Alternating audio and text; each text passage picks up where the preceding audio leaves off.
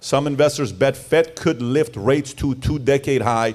Now they're talking about this. We haven't had a point hike. We've had three quarters of a basis point hike. What if they do a point hike in the month of December? What if they do? They could do it. Maybe they're going to go. They're probably going to do a half or three quarters of a point, but maybe they could do a point half hike. is locked into the Talk about great timing. If gas prices all of a sudden go like this in the next week to the roof, just know it was perfect timing strategy from Biden for the left to know that the gas prices being lower got the average voter to say, I'm cool. It's not as high as it used to be.